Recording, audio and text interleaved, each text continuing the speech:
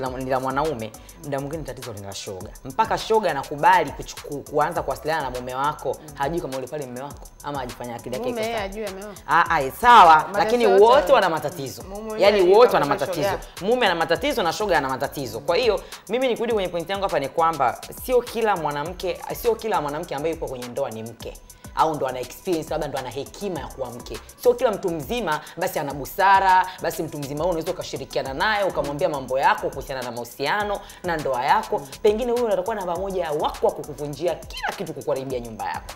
Na hata neno la Mungu linasema mwanamke mpumbavu huiharibu nyumba yake kwa mikono yake mwenyewe. Wewe mambo yako kuleta mashoga, kuanza kuweka mbele, lejana sijui mume wako ameaja sijui sijui tendo la ndoa sijui alienda sawa, umeshamwambia, hata atamjaribu aone ile tendo la ndoa likoje. Ah, mwingine atamsifia mume wangu mashallah. Ehe, atataka aenda kamwangalia huo mashallah ukoje. Wewe ndo wa kwanza kumwambia shoga yako, "Oh, shoga yangu, naomba basi unisaidie kupitia watoto, uwapitishe pale kwa kwa bebi wangu ofisini, mme wangu, maki nitachelewa kutoka ofisini. Shoga yako si unamwamini, mmeona kama ni family. Mm. Anamchukua mtoto anampeleka kila siku anapompeleka kwa baba mtu kule, wao ndo wanakuwa kama ni familia, wewe ushasaulika. Kwa hiyo ni kuwa makini tu, na nadhani ukiingia kwenye ndoa ukumbuke kwamba rafiki yako wa kwanza ni mume wako. Yaani wewe kama mwanamke lazima ujue nafasi yako kama kwenye ile nyumba ni mama, ni mke, na rafiki yako wa kwanza, kimbilio lako la kwanza ni mwanaume wako.